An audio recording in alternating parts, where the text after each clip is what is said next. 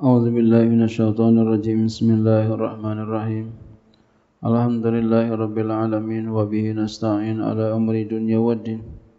الصلاة والسلام على أشرف الأنبياء والمرسلين سيدنا وحبيبنا وشفيئنا ومولانا محمد وعلى آله وصحبه أجمعين. سبحانك لا علم لنا إلا ما علمتنا.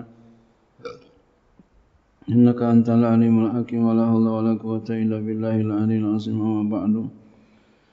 قال مفسر رحمه الله تعالى وأدام نفعا في علوم في دارين آمين.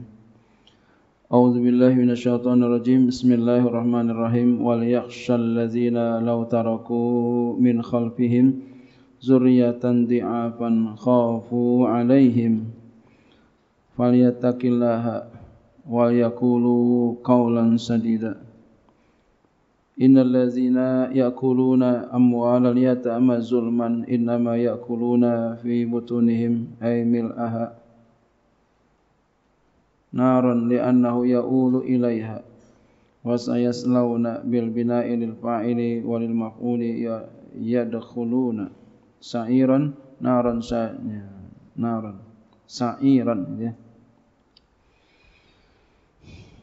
Wal yakhshal wal yakhsha hendaklah takut.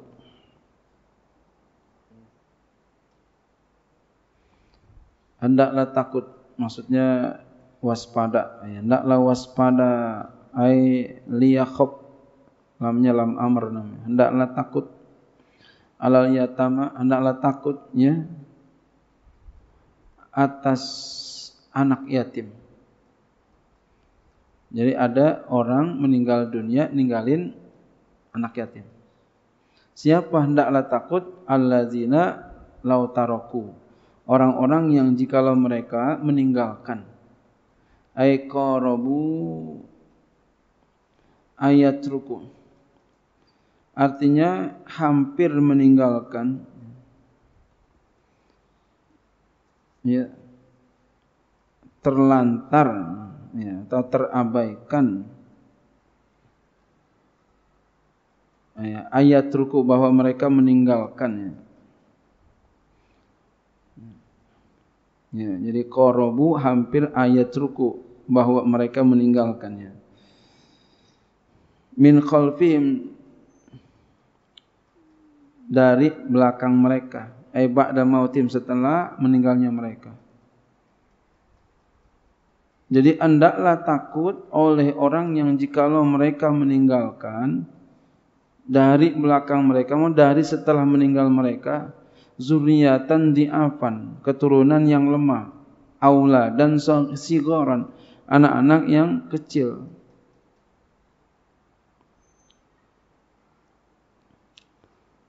Jadi hendaknya kita ya kalau kita meninggal lalu meninggalkan mereka masih kecil hendaknya kita takut gitu. Ama keturunan kita kita tinggalkan dia masih kecil. Hendaknya kita punya rasa takut itu. Khaufu alaihim takutlah olehmu kepada mereka.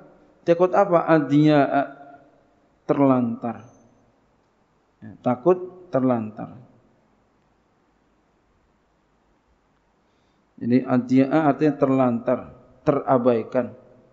Takutlah olehmu atas mereka akan terabaikan, akan terlantar. Jadi hendaknya kita punya rasa takut itu. Nanti akan terlantar. Falyattaqullaha maka takutlah olehmu kepada Allah fi amril yatama pada perkara anak yatim.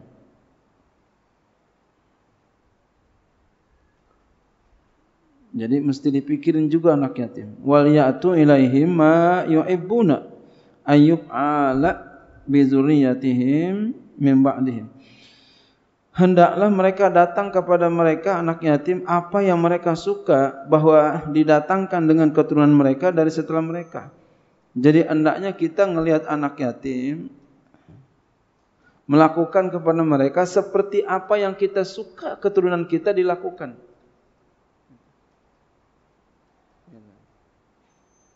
Pada anak yatim. Jadi kita berusaha mencari uang untuk mengongkosi anak yatim, bukan kebalikannya. Ya, jadi kita disuruh untuk mencari makan buat anak yatim, bukan cari makan di anak yatim, bukan. Jangan sampai. Saya dulu pernah eh, dua kali saya ditawarkan untuk bangun pesantren anak yatim. Saya nggak mau, takut. Dikasih modalnya, kasih uangnya. Sebelum saya punya pesantren ini, dikasih dua kali tawaran. Iya dua kali. Saya nggak mau. Tapi memang qadarullah ya, punya pesantren juga.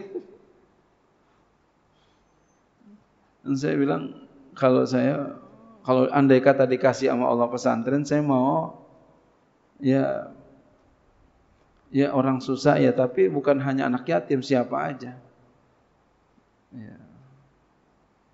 Gratis tapi siapa aja, mau kaya mau miskin, saya mau. Tapi kalau untuk anak yatim saya takut. Ya. Takut lupa diri mintain sumbangan untuk anak yatim itu mudah banget. Karena semua sepakat untuk anak yatim. Golongan apa pun, sekalipun orang Syiah sekalipun semua sepakat semua. Orang Wahabi semua sepakat. Enggak ada sisi paham enggak ada. Anak yatim harus diayomi, diperhatikan. Makanya gampang cari duit untuk anak yatim, gampang. Cuma kalau ada orang udah dicap jelek udah susah. Tapi hati-hati. Kemarin udah kita kaji itu sedikit ya. Kita boleh ambil kalau kita memang orang susah, tapi sebutuhnya, seperlunya, sepantasnya. Nah, kalau kita orang kaya, seyogianya jangan. Nah, seyogianya kita yang paling bagus banget adalah kita jangan cari duit di situ. Kita cuma bantuin aja. Nah, cakep dah yang begitu. Wal yaqulu dan hendaklah mereka berkata liman adaratul wafatu kepada orang yang hadir kepadanya oleh kematian ya.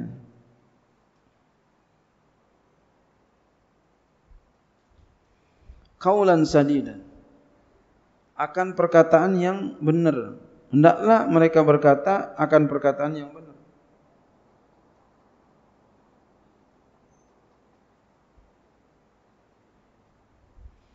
Sawaban yang benar. Bi ya'muru dengan bahwa mereka perintahkan dia ayat tasaddaq bersedekah biduni solusi di bawah sepertiganya wa yada'al baqiyah dan dia sisakan yang sisa liwarasati untuk ahli warisnya. Nah. Mereka mengatakan perkataan yang baik itu kepada orang yang ingin meninggal dunia, meninggalkan anak yatim. Perintahkan mereka untuk bersedekah, tapi di bawah sepertiga. Jadi orang udah mau meninggal untuk bersedekah tapi di bawah sepertiga. Dan sisain untuk ahli waris. Wala yatrukuhum dan tidak ia tinggalkan mereka ahli waris alatan dalam keadaan miskin. Jangan sekali-kali tinggalkan padahal kita punya duit banyak kita habisin semua anak kita dalam keadaan miskin, enggak boleh. Tadi hendaklah mereka memerintahkan kepada orang yang mau meninggal dunia untuk bersedekah. Masya Allah. Udah mau meninggal, disuruh untuk bersedekah. Liman adaratul wafatu. Ini hendaklah berkata. Ya, ini untuk orang yang hadir kepadanya oleh kematian. Dia hadir di sisi orang yang udah mau meninggal. Nanti sedekah ada sedekah.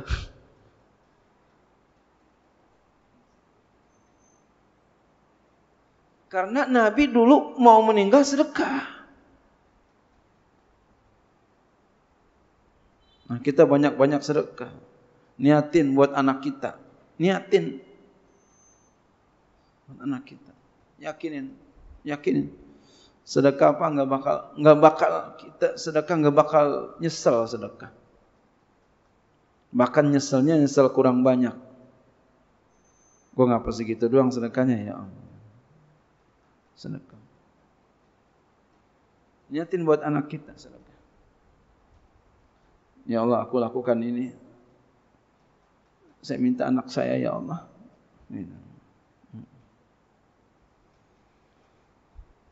Ini kita jangan pakai dibilang orang enggak ya jangan pakai dibilangin dah ya. Oh kita udah mau kayaknya udah udah mau ini rasanya nih. Sedekah dah kita. Kalau lagi masih sehat, bagusnya sih masih sehat sedekah. Ini kalau masih sehat nggak mau sedekah juga umpama itu ya. Udah mau mati sedekah.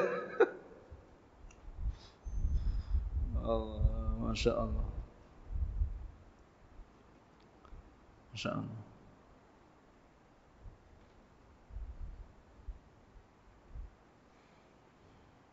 Sedekah, sedekah, sedekah, sedekah.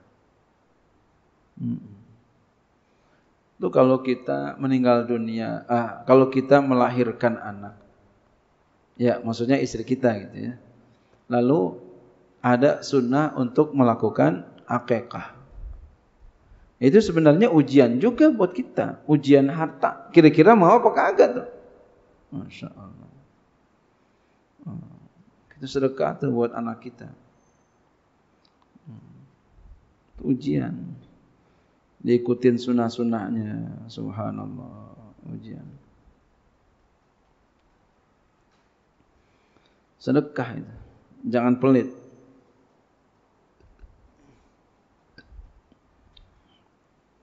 Innal ladzina ya'kuluna amwalal yatama zulman sesungguhnya orang-orang yang makan harta anak yatim dengan zalim migori akin dengan tanpa hak jadi berarti ada yang makan hak Ya. Dia ngurusin anak yatim, dia makan tapi yang benar. Dia ngurusin berarti boleh. Gitu boleh.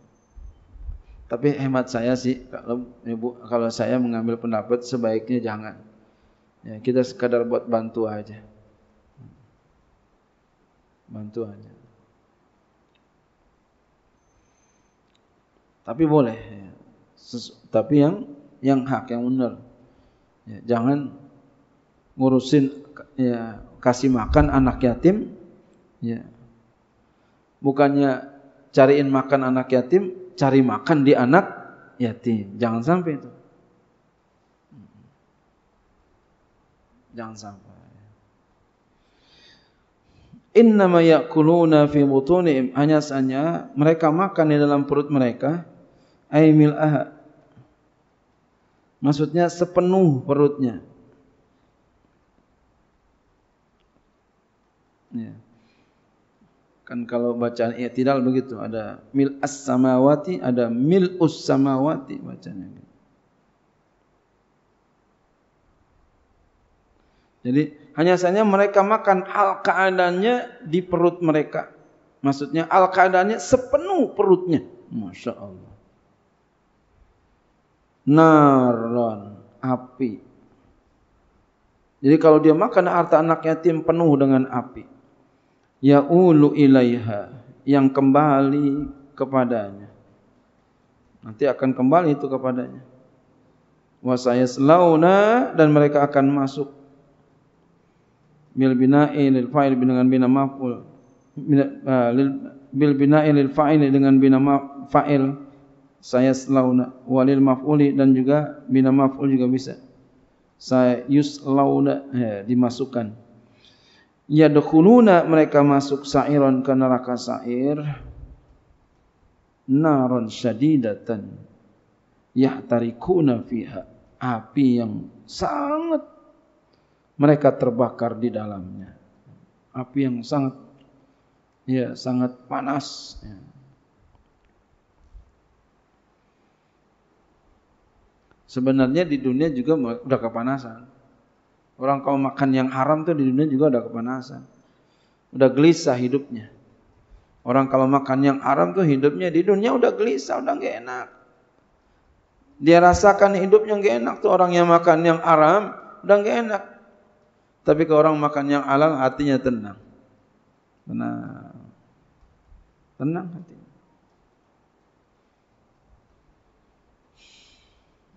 Ya.